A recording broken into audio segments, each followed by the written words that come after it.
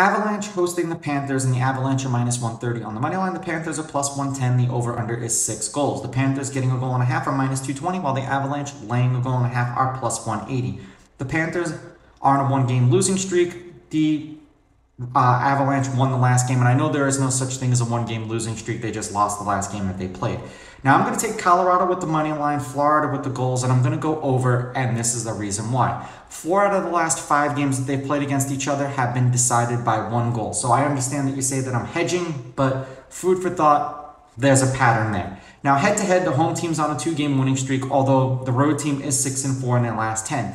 These teams are 5 and 5 against each other in their last 10 meetings. The favorite has won the last two games, although the underdog is 6 and 4 on the money line. The team getting a goal and a half is 8 and 2 in their last 10 and there have been 5 one goal games in their last 10 and like I said, 4 out of the last 5 have happened in their 4 out of their last 5 games.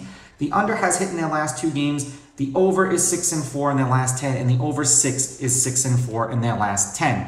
The uh, the Panthers are 13 and 28 against the spread. The over is 21 and 16, and they are 8, 13 and 1 on the road this year. The Avalanche are 17 and 21 against the spread. The under is 23 and 13, and they are 9, 7, 1 and 2 at home. Both of these teams are actually playing to their disadvantage.